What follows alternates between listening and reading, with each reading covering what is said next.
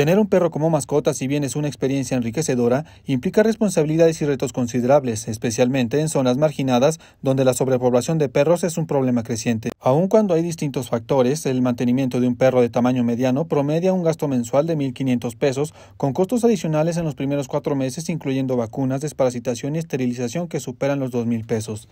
Dentro de los gastos adicionales implica cuatro vacunas que suman mil pesos, además de la desparasitación por 50 pesos. Posteriormente necesita otros medicamentos preventivos como lo son contra las garrapatas, vacuna para la rabia y un polivalente viral, cada uno en 300 pesos, además de la esterilización que supera los 500 pesos.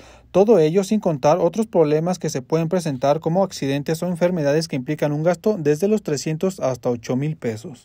Sin embargo, hay que tener todo en consideración, dieta, eh, medicina, todo todo, todo, todo, ¿Por qué? Porque, por ejemplo, un perro chico vive 12, 15 años, le das toda su vida a tortillas y está bien 7, 8 años y muere, pero ahí le reduces casi la mitad de su vida. Autoridades capitalinas de Zacatecas destacan la importancia de que la sociedad respete las cinco libertades de los perros. Enfatizan que de no cumplirse se aplican sanciones económicas. Ante este incumplimiento, la mascota es retirada y para recuperarla los dueños deben pagar una sanción de 622 pesos. En caso de maltrato animal, las multas rondan los 5 mil pesos. El objetivo es proteger a los animales y prevenir problemas de salud pública, así como la formación de jaurías.